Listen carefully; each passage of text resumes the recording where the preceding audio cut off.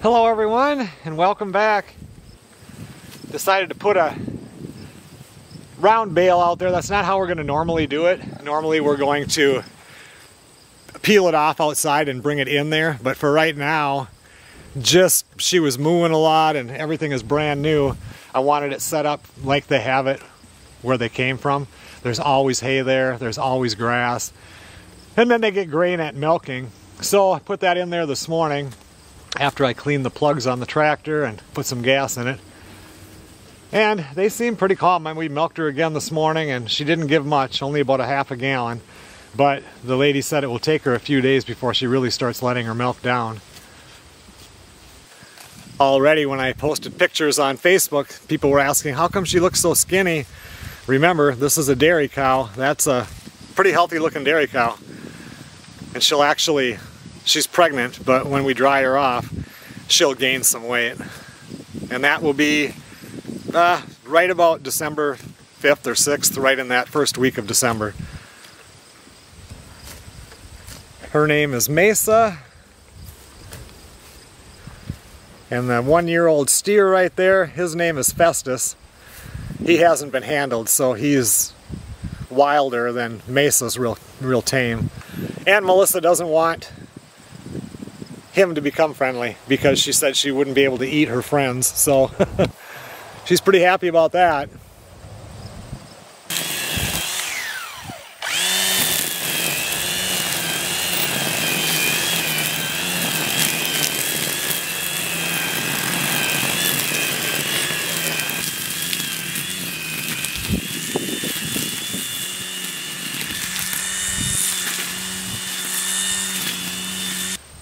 Huh, I took out the weed whipper thingy and made it all the way around to up where the cows are before the batteries went dead. There was a lot of stuff to cut. I want to get this bottom wire powered before I move them into this area since this one doesn't have any of the cattle panels or anything.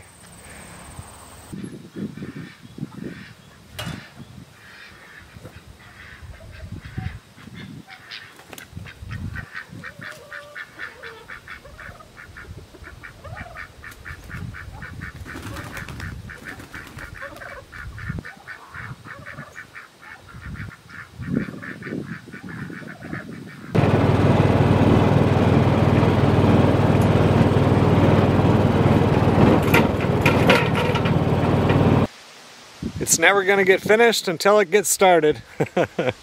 Thought I'd come out here for a little bit and cut some wood.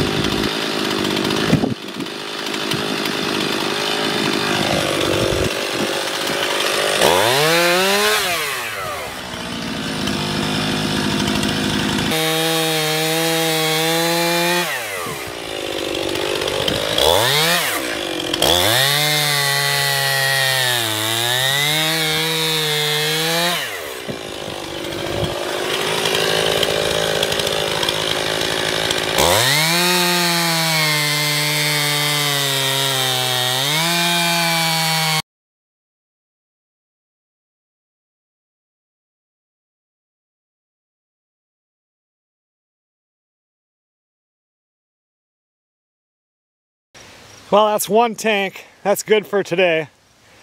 Especially when it's 80 degrees outside and I haven't used these muscles in a while. Got to start into a pile like this kind of slow. Good morning, everybody. I already brought her in and milked her this morning. She was kind of a creep. She she's definitely has her own personality. She wouldn't eat her corn. She only let go maybe, I don't know, half a gallon of milk. But um, anyway, I did that maybe an hour, hour and a half ago. I have to get an onion for Melissa because I'm going to do chicken on the barbecue today, or on the grill. And I'm going, she's going to make potato salad. And then I'm going to get her, I'm going to grab the other water tank and put that in the other pasture. And I'm going to get her in there and try to get some grain so he has a chance to eat some grain. That one should do it. I will eventually show when I'm milking once I get it all figured out. right now we're trying different things. I definitely have to build a stanchion for her to get into and uh, just a, a few things we need to do.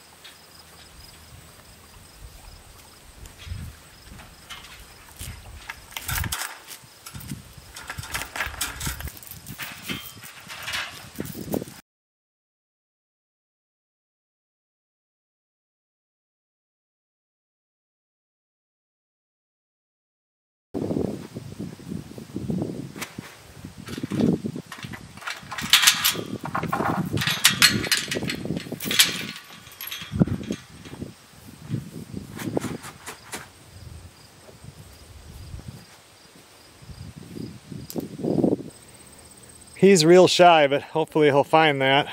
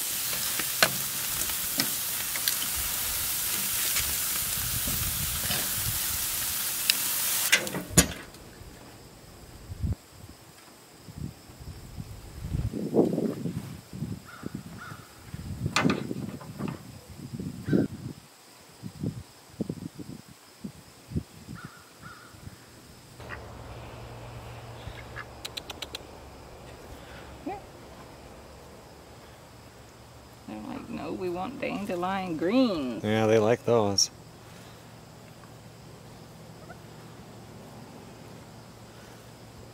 All my stuff is ready. This is all ready too. I mean, it's all over temp, except for there was one leg in there that was like two degrees to go.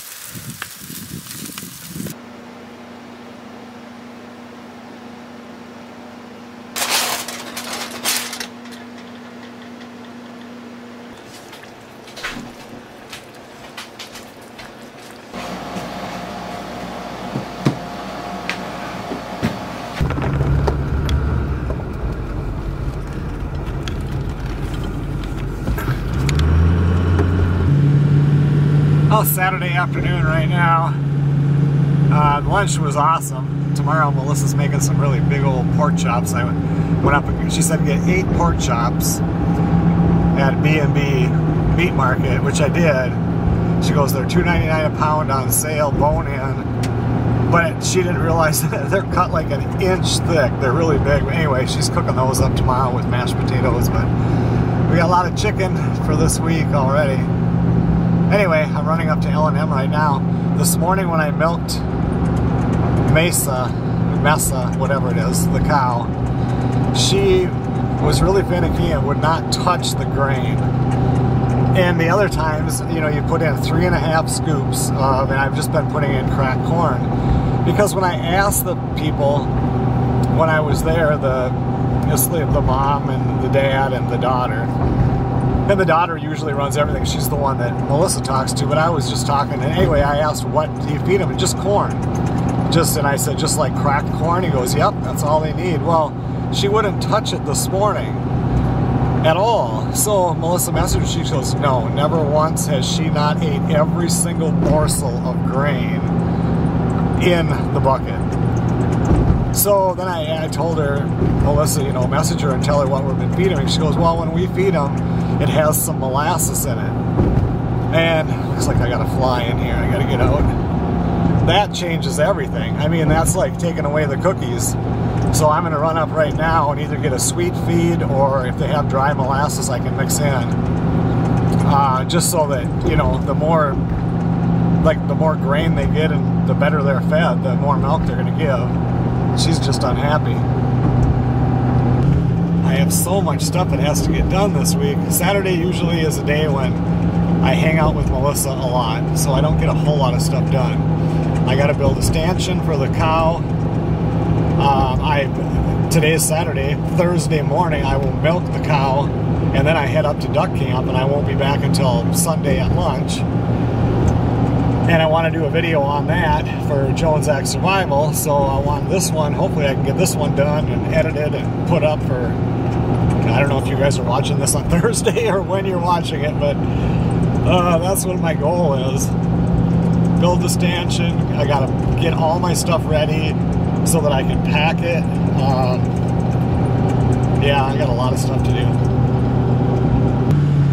I wouldn't seem so far behind, but I mean, I pretty much lost. I mean, I got stuff done, but I lost three weeks with COVID. Yesterday, I definitely overdid it. First, I did all that trimming. I had a bunch of other little stuff I did, and then going out and cutting that wood when it was that hot. Um, I thought I felt better than I did, and I was still kind of weak, so uh, overdid it a little bit.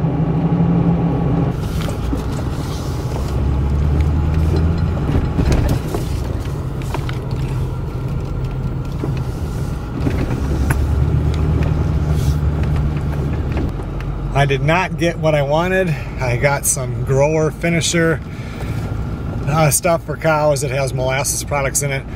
I must get sweet feed at uh, Tractor Supply. I, they, they didn't know. They're waxing the floors tonight, so it's most of all the grain area was completely gone. He said it was in the back, some back room, and uh, yeah, nobody looked all that happy in there, but I was going to get a small game license too and my federal duck stamps and everything and a state stamp, but nobody was at that desk. They're just busy getting ready for getting everything waxed.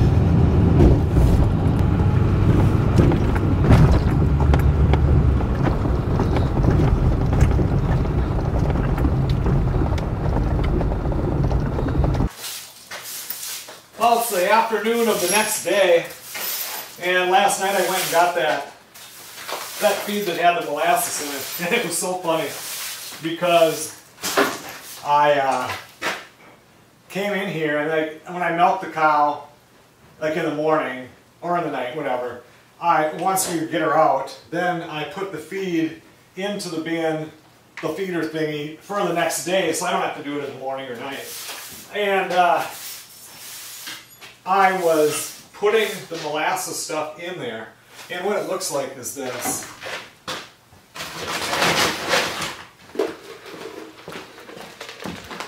So it's just like pellets with some corn and some oats or something in there, and it smells, it's really sweet smell, like molasses, you know. And uh, so I'm putting this in there, door is shut and everything, and Mesa is at the back door with their head. I'll have to see um, if I can get, put a clip of that video in, because Melissa took the video, I think. And she is mooing to get in. So that was definitely what she was missing.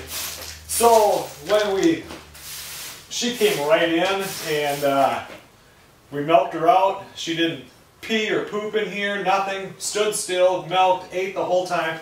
But she didn't eat all of it. And I put quite a bit in there. And so then Melissa got a hold of the people that had it before, and the lady said, you put in two scoops of corn and then one and a half scoops of, of the molasses stuff. So that's what we did this morning. And again, she came right in. In fact, she came in and I didn't even put the, I usually I click the lead on her and pull her in. We didn't, we just left the door open. But since it's a new area for her, she didn't come in here. She starts walking that way to go through those doors. so Melissa runs around and shuts the door, and she shoved her nose in the, I have a, a two foot piece of, of stovepipe, class A, and there's a bucket there that I use to mix concrete. She's sticking her nose in there. Had to turn her around and bring her in here. And then she just right away started eating away and milked out real nice again. So this morning after milking, I just stayed out here and I'm just getting this cleaned up. I need to have it blocked off so she can't go that way, but I needed to get some things organized. It was driving me crazy, and this winter, if I want to work in here, I needed to get stuff out of the area that needs to be worked on, so I brought stuff and put it over here now. So, um, and then I just went in a little bit ago. Well, now it's about almost 2 o'clock because my dad called and I talked to him for probably 40 minutes on the phone. But Melissa made pork chops and mashed potatoes and peas today. It was really good.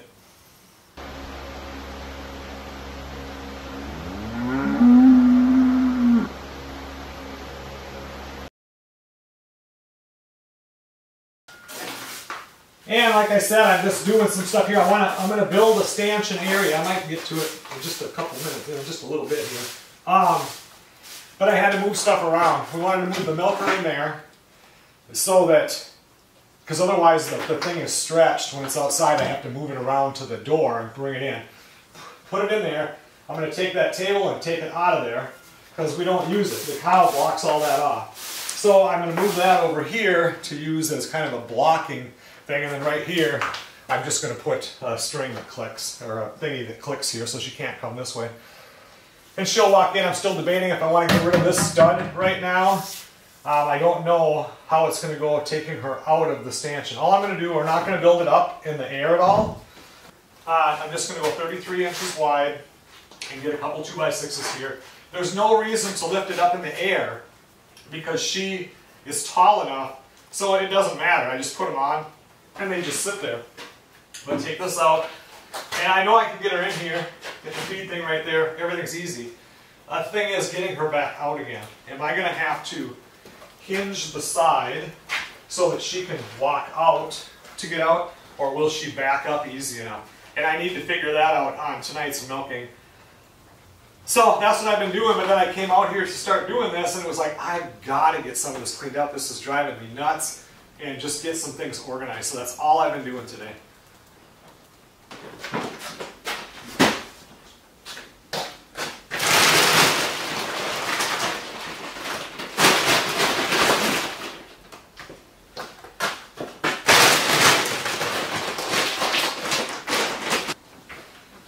Yeah, talking to my dad since we're going to be going duck hunting here and well today's Sunday both of us are going up on Thursday. So yeah, we were talking about that, and then Zachary, he will be up there too. Sarah, I think, is going up. And Teresa will be up. Johan, I suppose his son.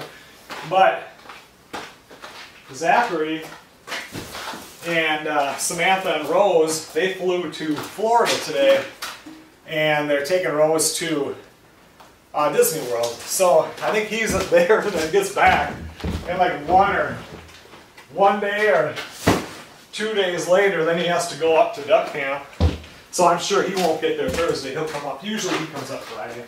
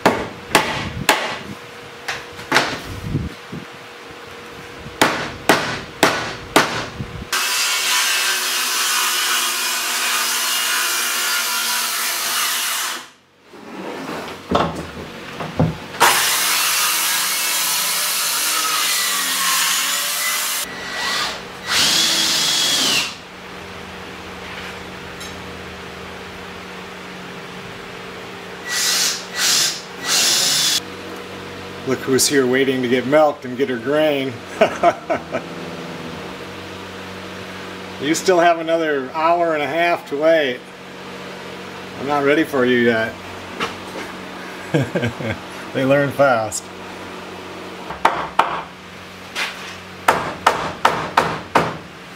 By setting her up in here, if this works, when she has her calf and we milk her, we need to bring her calf in here too. So the calf can kind of hang out over here while we milk mom and hopefully we're thinking all this through. and uh, once again I'm screwing it together here except for that bottom part so I can move stuff around if I need to.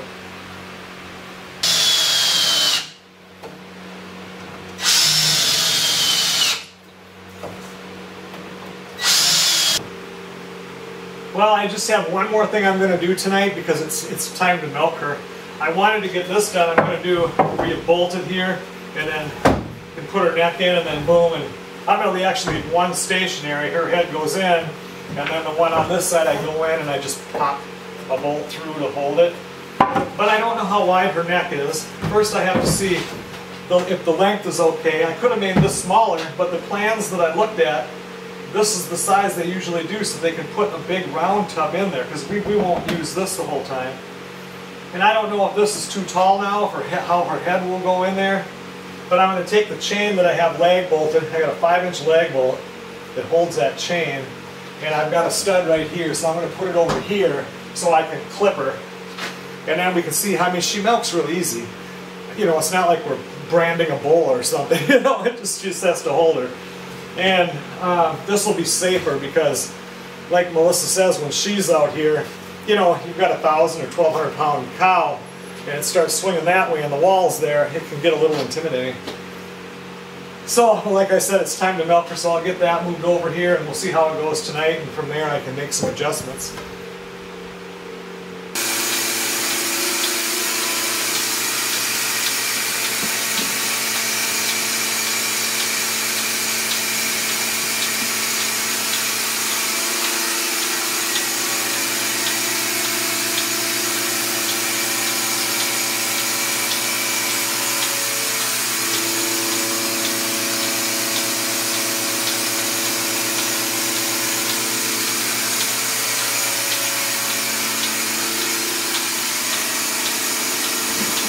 Yeah, I think you need a little bit lower of a feed bin because her neck hits it going in because she's not as high now. Oh, What are you doing? See what I mean? yeah. Oh, she could step one step forward though.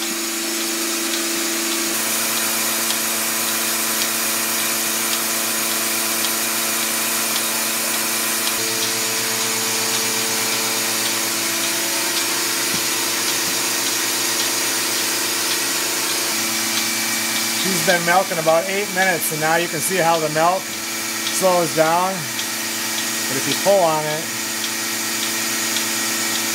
you get that last bit. She only has three that work. So the, that fourth one is plugged and bent over. And this one, the back one here, doesn't give as much either.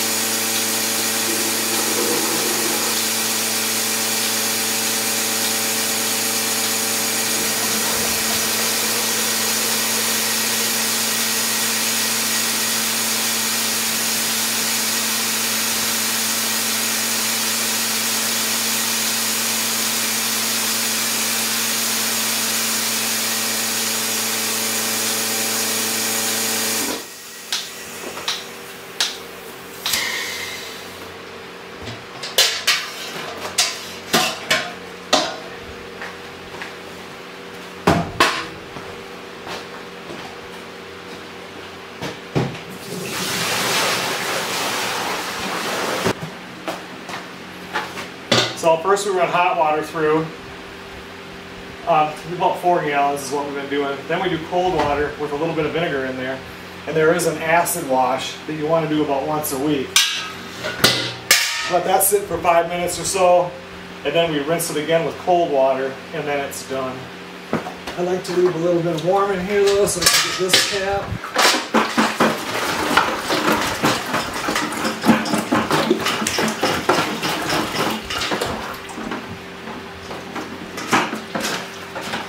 Yep, she's gone. Yeah, I gotta put her in the other pasture. I'm gonna put this piece of wood in here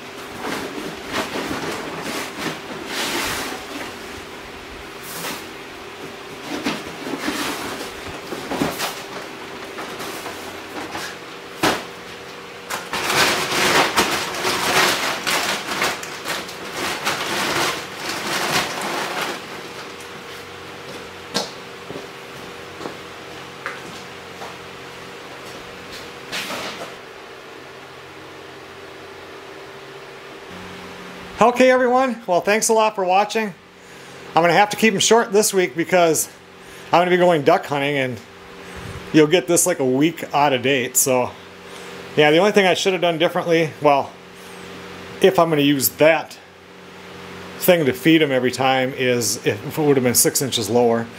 But I'm not planning on feeding in that all the time. So I'll just get one that's a little bit lower so that her neck can get in there easier. And then she did not back out of here easy at all. I had to push with all my might. And then at one point, she put her head in here and tried to go through here. And so she'll have to get the hang of it. I've seen other videos where people bring their cows in and unlatch them and they back right up. And then she tried to go around this corner. So what I'm going to do though is take this stud right here out so that once she gets out partway, she can spin around. She tried to spin, but she's so long that her head kind of came in through here. So I had to get on the front of her and just with my shoulder push her back enough to get her head to clear. which she'll get the hang of that, but I am going to remove this stud. There's just no reason for it to be there right now. And again today now, it took about 30 minutes to get her in here, get her milked, get everything sanitized, and then we dump the milk into jars after we strain it, and then get it out into the refrigerator that's in the guest house. And you can see each jar is a half gallon. I've already drank almost about three quarters of a gallon of it myself.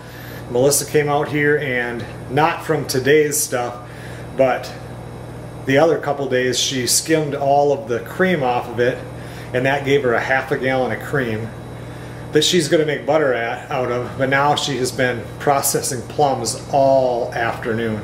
Even this morning she was doing that, then had to pull it off so she could fry the pork chops. And she's still working on that. She has to run it through a strainer yet, and then she has a lot of it too, and then she has to can it still tonight. Uh, she's going to be busy until 10 o'clock. After duck hunting, I will sit down and do a question and answer video because I've got a lot of questions that come up and oh, people think you're tied to the farm forever if you've got the milk cow and you just don't understand yet how we're planning on doing things. They said the same thing about the boiler, but didn't really change my life at all except for I got to go fill the boiler in the morning and at night. I haven't started packing anything yet, so I better get busy.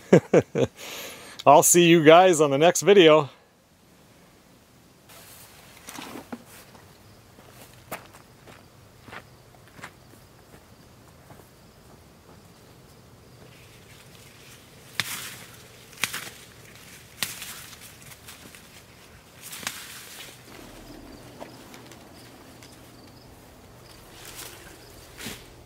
There you go, Festus. I know you like it.